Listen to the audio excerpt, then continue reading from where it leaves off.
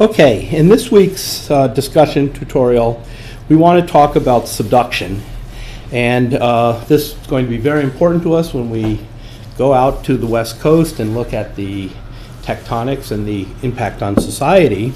Because in particular, we're going to be looking at this region here, in which we have subduction, that is the movement of the Juan de Fuca plate, this small little plate here, underneath western North America, producing this sequence of volcanoes and also the potential for extremely large earthquakes and volcanoes.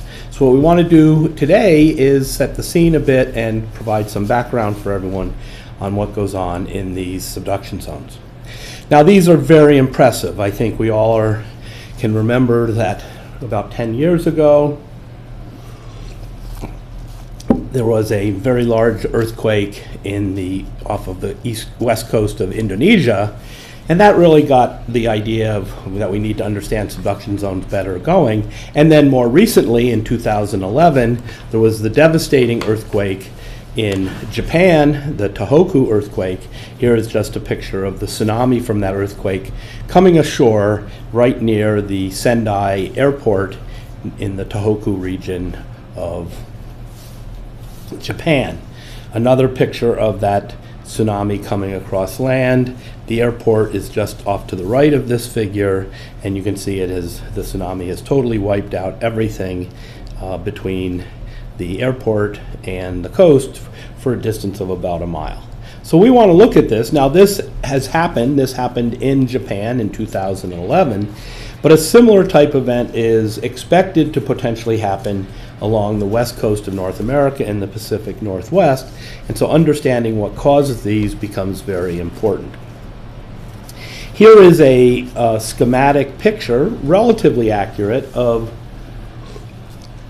the plate boundary in North America. This region over on the right is North America. Seattle would sit right in here. This is the coast and we have the Juan de Fuca plate coming in and going underneath North America. Now, in the presentation today, I'm going to be predominantly talking about what's happening along this part of the plate boundary and those aspects related to earthquakes and other deformation. Later in the semester, we'll worry about what's going on down here where things such as the source region for the volcanoes that occur at the surface are produced. So for today, we're going to be mostly looking at the area in which the big earthquakes are generated and the impact that may have on things such as tsunamis, and also how we may be able to observe the processes that go on in this region. And so we'll come back to this picture numerous times in the semester, but for our purposes, the key thing is that the Juan de Fuca plate is moving to the east and coming in underneath North America and along some fraction of that boundary, the two plates are locked together, building up strain, deforming, and then that will catastrophically be released during the big earthquakes. Now, subduction zones are complicated places. The geology of them is very complicated. This figure shows one model of how they are set up or what's going on in them. And you can see there are a huge number of different terms and names being used to describe them. We will come back to some of those later, but the key things to think about is essentially we have a vol uh, volcanoes and a so-called volcanic front. That's just the, the oceanward most part of the volcanoes. We have a trench, this is where the two plates meet for the first time. It oftentimes is a bathymetric deep. Adjacent to the trench, we have an area that they call the accretionary prism that is made up predominantly of sediments, either scraped off the oceanic plate as it comes in or eroded off of the land or the volcanoes that are above the plate. And in this case, the oceanic plate is moving to the left, it goes down, and there is a plate boundary between the two areas. And so we may come back to this figure, but the key points is that we have a trench we have a volcanic arc, and we have a region along here in which the two plates are in contact and can be building up the stress and strain that is released in major earthquakes. Now, we don't know a lot about this. We can observe things on the surface out here and along this whole surface, but the details of what's actually going on along the plate interface is very difficult to observe. We can't actually see it directly in most places. There are several ongoing experiments to try to say something more about that. And in particular, there's a very large one that is going on in Japan, where they are actually drilling in several places for the um, in this area.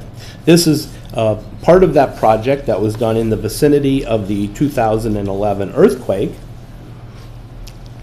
And in that case, we have the Pacific plate moving down underneath Japan. And in fact, in this part of Japan, it is really part of North America.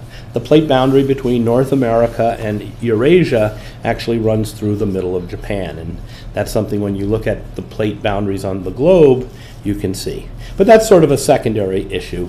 The main thing is that we have a plate boundary that ruptured during the earthquake, and with a drilling ship, they can go out and actually drill into the sediments right near the trench. And so they did that to try to understand what happened in the earthquake. This similar type drilling project is going on further south in Japan in an area that is called the Nankai Trough. And it's an area where they're trying to drill several places into faults associated with the plate boundary.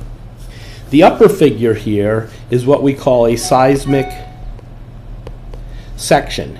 It is a basically a picture of what the structures look like in this area.